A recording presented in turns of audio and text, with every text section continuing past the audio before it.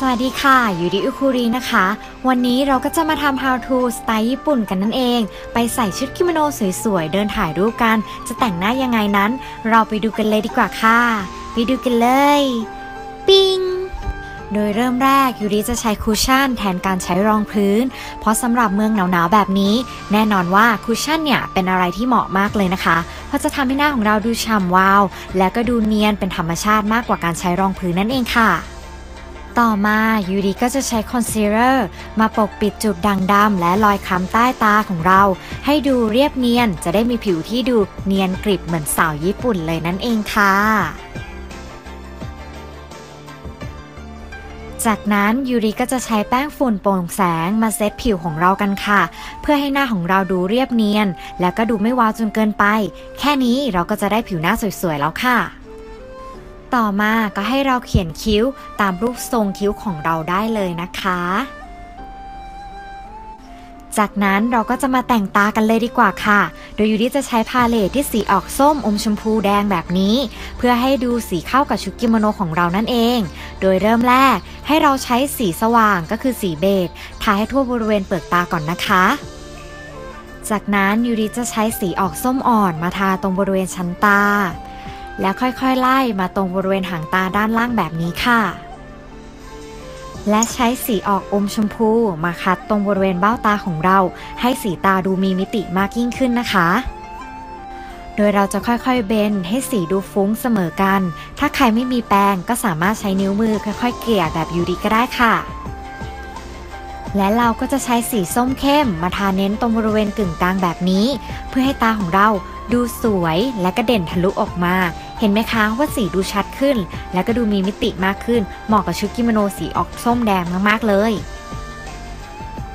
และให้ใช้สีอายแชโดว์สีออกดำมาทาเน้นตรงบริเวณขอบตาของเรา และไล่มาถึงขอบตาด้านล่างด้วยนะ ตาของเราก็จะดูคมเข้มมากยิ่งขึ้นค่ะ และแน่นอนว่าเราเป็น look สาวญี่ปุ่น จะต้องกรีดอายไลเนอร์แน่ ๆ โดยวิธีการกรีดอายไลเนอร์ของยูริ จะเน้นให้หางดูเฉี่ยวขึ้นนิดๆแบบนี้ และกรีดให้ดูคมขึ้น แค่นี้ตาของเราก็จะดูเฉี่ยว และเป็นสไตล์แบบสาวญี่ปุ่นแล้วค่ะ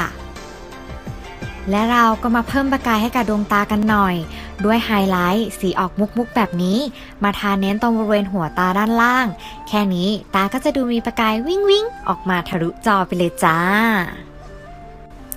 หลังจากนั้นแน่นอนค่ะ ก็ดัดขนตาแล้วก็ปัดมาคาร่ากันเลยโดยครั้งนี้อยู่ดีจะไม่ได้ใช้ขนตาปลอมอะไรนะคะ เพียงแค่ปัดมาคาร่าหลายๆครั้ง ให้ขนตาของเราดูงอนและเป็นธรรมชาติก็พอค่ะ แค่นี้ก็จะได้ลุกตาแบบสาวญี่ปุ่นแล้วจ้า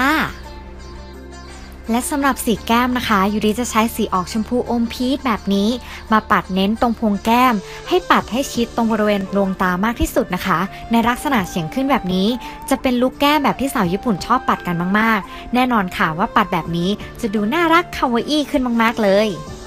และตามต่อด้วยไฮไลท์โดยยูริจะใช้สีออกทองมุกสว่าง มาทาเน้นตรงบริเวณที่แสงตกกระทบนั่นเอง เวลาถ่ายรูปจะได้สวยๆนะคะ จากนั้นใช้สีออกทองเข้มขึ้นมาหน่อย มาทาเฉดนะคะ บริเวณใต้หนกแก้มแบบนี้ แก้มของเราก็จะดูพุ่งขึ้นไปอีกค่ะ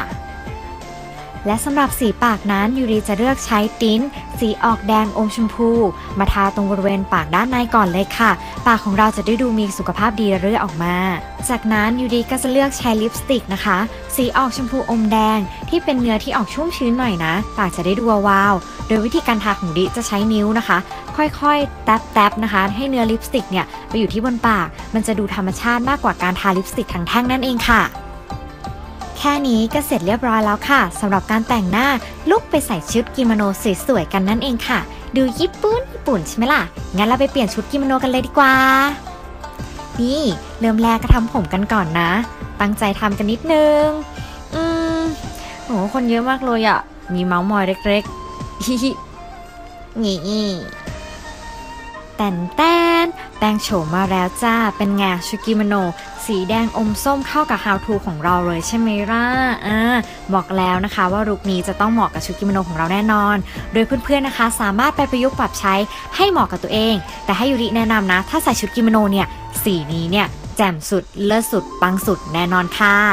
วันนี้ขอบคุณมาก ๆ นะคะที่ติดตามรับชม ยังไงก็อย่าลืมไปติดตามยูริในแฟนเพจ Instagram และอย่าลืม Subscribe ช่อง YouTube ของยูริด้วยนะ จะได้ติดตามคลิปใหม่ ๆ กันค่ะ วันนี้ไปละ บ๊ายบาย สวัสดีค่ะไซโยนารา